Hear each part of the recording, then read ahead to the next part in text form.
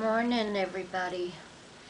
Uh, today is day 12, and uh, look, just frightful. Um, but anyway, it's an hour.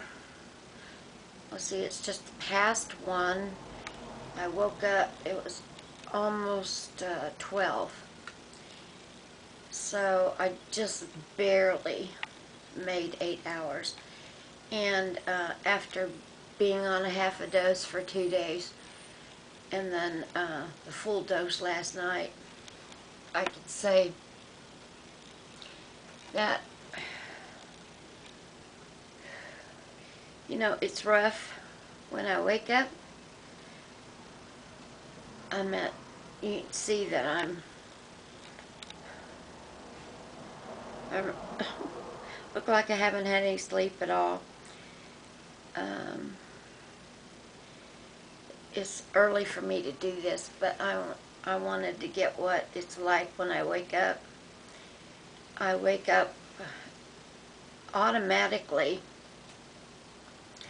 um, depressed. Um, a feeling of uh, overwhelmingness which can um, be anxi- anxiety. But these two things are just instant, you know, instant. As soon as I wake up, because of the um, sedation of uh, my medication from nighttime, and this is the thing that I don't like. I don't like waking up like that. I don't like this. I don't like waking up and uh, struggling to come around. This is why, you know, I don't want to remain like this. Uh, I don't think anybody wants to, you know. Um, anyway, I thought I'd do a quick, if the camera battery doesn't die on me. But I wanted to, okay, it's rethinking time again. I wanted to show y'all something. This is my uh, peel cutter, which, you know, I think over, the blade is sharp, but I don't know, it's not sharp enough without, you know, um, getting the doses just right. But anyway, this is my um, Seroquel. Seroquel, this is a 300 tablet, and I don't ever take 300. A year ago, I was able to go down to half that, which is 150. So that's a 150. And of course I was halving this, putting it in here.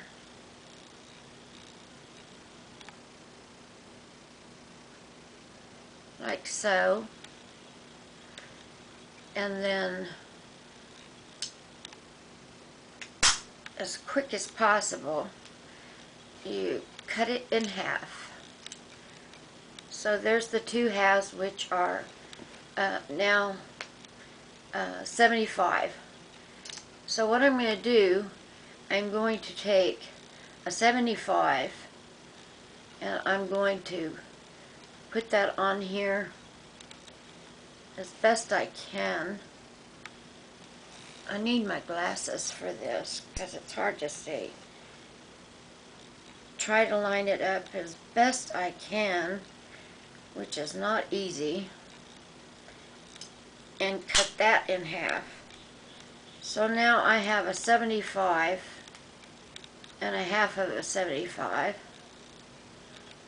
Uh, which would make that, uh, what's half of 75? Mm, 35, 10, 35, I guess. but that's what I'm going to do. This is uh, not an exact tapering, but it is more of a tapering. And I'm going to stick with this. You know, it's more than uh, me halving my dose, but it's still less than a full, you know, my full dose. So that's what I'll take at night. And then there's the Remeron, uh, Remeron right here. See that? I was splitting it in half, taking that half a dose. But now, I got the half a dose, and then I'm going to take the other half. This is so hard, because it's just a small pill. It might fragment it. But you get it in there as good as you can. Line it up the best you can and hope that this cutter isn't going to demolish this pill which takes some real adjusting. like I said, this isn't the best cutter in the world for doing this. You know, not for tapering anyway. There's something you could get on Amazon. Let's see what happens. Mm. Okay, that was good. So now, that half a dose, which was a 30, which I split in half, which was a 15, I took the um, 15 and split that into two. So now I have the half a dose, which is 15, plus half of 15. Pushy. I don't know what that is. Because my mind right now cannot think at all. But that will be, you know, more than just going completely half. So 15, 15, 0, T. It's real, anyway, y'all figure it out. That's it. So we got that ready. Last one is the Requip for the restless leg, which is two milligrams I already cut this one half. Um, there's one and one. So I'm going to take um, the one milligram, put that in the little cutter. Oh, please cut it good. Oh, that was a soft cut, but it cut it. It's not always going to be that good. Can't believe I'm doing that right after I get up. So now I have a dose, which is uh, in decimal points or percentages. anyway, I'm going to say I am now taking one milligram and then half of one milligram. So I have my pills already for tonight. Um, the one thing after you cut these, you sure want to be able to still identify them. Maybe it's better just to keep them all separated so you don't mix anything up. You know, but if you can remember the shapes, it's better not to leave them all together in here, I think. You know, set them aside in their little groups. One, two, three. So, you make sure that you're not taking the wrong pills. Anyway, just wanted to demonstrate that is what I'm going to do. So this is a semi-tapering. Um, because then you would have to make the doses even smaller than that, which is going to leave me with crumbs, you know, shatter the pills. I was able to do this where they're still intact. Um, they're pretty, um, pretty well even on, you know, after you split them on either side. So, and then I'm going to stay on that for, we're going for a week. It may be, you know, two weeks before you um, take away that extra little bit that you were on. Your body, uh, okay, my body needs to adjust to that. So that's not a half a dose, but it's uh, one and a half more than, you know, going completely half, which, you know, is causing too many side effects, too, too much withdrawal, you know, and then bouncing back and forth, you know, two days or even one day and then a full, full dose it's just, it, it's, you know,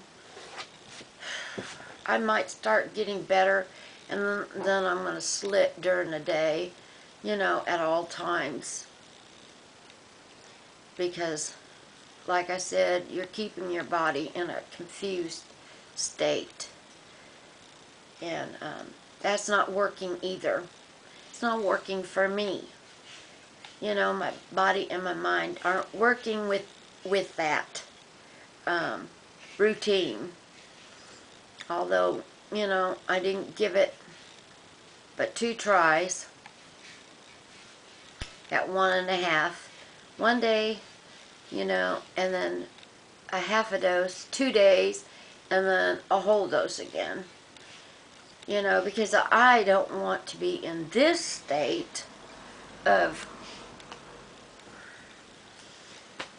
Waking up, I mean, dreams are horrific. Vivid, horrific dreams. Just, uh, they come from, you know, there's, it's kind of like nightmares in a way. They're dreams where I just don't understand where this stuff, you know, comes from, you know, watching movies, you know, there's like bits and pieces that might be coming from there, but there's people that I don't know in these dreams, and sometimes you're um, you're doing things that you don't do, you know, you don't do at all, you know, and I I don't know what you know, why does it have to be me in the dream? You know, if it was just about other people, okay, maybe that'd be cool, but, you know, I don't want to be a participant in my own dream, you know. Maybe that's the way it always is when you dream. You always have to be in your own dreams. And I don't like the things that happen to me or the things that I do in my dreams because I don't do them in real life. So why am I doing them in these dreams, you know? I don't have to discuss my dreams. I try not to dwell on them unless it's a a unique dream. I know, you know, there's some meaning in there somewhere, you know, or why I'm a reason for why you're dreaming a particular thing sometimes it's easy to okay you know that makes sense especially whatever you're going through but anyway don't want to get into dreams but I don't like it you know for the longest time you know it was I if I dreamt, I never remembered my dreams. It was if I never dreamt. But, you know, um, they say you have to dream. It's a coping mechanism. Um, it's a way to your body releases whatever things that you're experiencing. But there I go, getting back into the dreams. I just wanted to document this. I just look like death warmed over. I look horrifically horrible.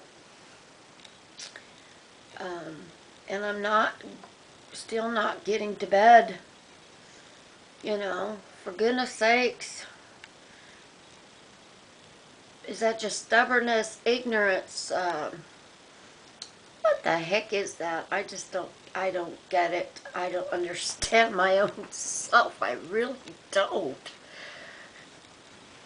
You know, I, like I said yesterday, don't start something that you're going to have, that you're going to be so involved in.